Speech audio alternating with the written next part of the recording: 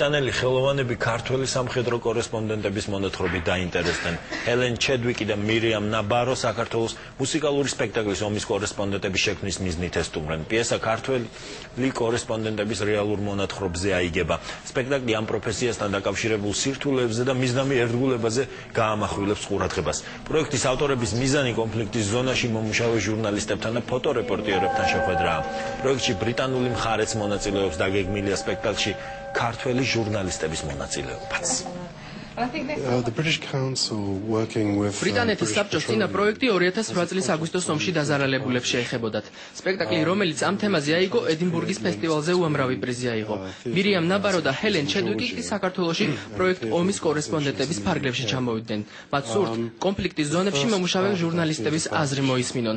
ამატერიალური ბაზით კი ლონდონის ნაციონალური თეატრისა და რუსთაველის თეატრის სცენაზე სწორედ ამ ფაქტებზე აგებულ წარმოდგენას ბრიტანეთსა და საქართველოში გიჩვენებთ. საქართველოში და ბრიტანეთში უამრავ ჟურნალისტს ვესაუბრეთ. ქართულმა რეპორტერებმა კონფლიქტურ ზონებში მუშაობისა და იქ ცხოვრების სირთულეები გაგვიზიარეს. ეს იქნება მუსიკალური წარმოდგენა, რომელიც ქართველი და უცხოელი კორესპონდენტების რეალურ გამოცდილებაზე იქნება აგებული. ამ ყველაფერს კი მათი ინტერვიუების საფუძველზე ავაგებთ.